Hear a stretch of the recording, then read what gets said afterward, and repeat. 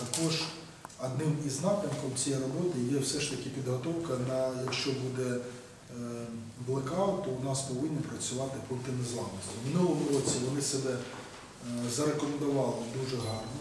І ви пам'ятаєте, яка шалена кількість людей знаходилась по пунктам незламності, що далеко ходити. Ми розгорнули в біля адміністрації таких пунктів незламності три. Один працював на першому поверсі ЦНАПі для матерів та дітей.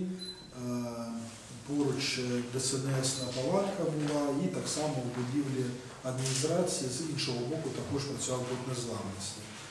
Е, І дійсно це надало змогу людям, людям мати ключові моменти, тобто зігрітись і мати зв'язок зі своїми близькими та рідними щодо спілкування. Так само в цьому році ми вже розгорнули 482 пункти незламності, 430 знаходиться пункти незламності, це органи місцевого самоврядування, місцева влада, 30, 45 це ДСНС. Е, До речі, пункти ДСНС працюють цілодобово, а пункти, які ми говоримо, знаходяться в органах місцевого самоврядування, вони працюють і рішенням місцевої комісії ТЕКТНС, але під час е, блекаута вони повинні працювати цілодобово. Але час зараз вони працюють протягом дня.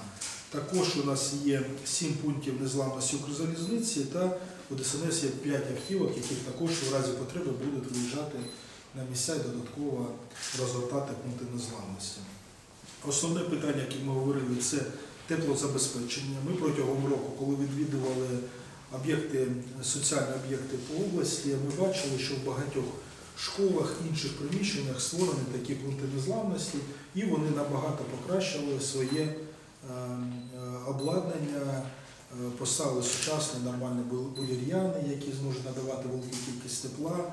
З точки зору пожежної безпеки відпрацювали, щоб не було ризиків, поставили великі ємності для питної води, кількість розеток тощо, і це прямо набагато краще, ніж було в минулому році зроблено. Також, е, що стосується інтернету, то тому що це дуже важливе питання, саме зв'язок е, із світом і відповідно своїми родинами по нашій країні за кордоном, то в пунктах незламності дуже багато питань ми е, приділяємо саме інтернету. У нас на сьогодні 75 пунктів незламності мають старлінки. 360 на сьогодні мають фон, тобто це пасивна оптична мережа, яка надає змогу і під час блекаутів працювати. Всі інші на сьогодні віддалені, віддалені пункти покращують свою мережу і е, відповідно або повинні закупити старлінки, або покращити свою мережу. Ця робота ведеться по кожному пункту незламності. Вона знаходиться на контролі е, мерів е, або голів, голів територіальних громад, начальників районних військових адміністрацій, ну і звісно обласної військової адміністрації.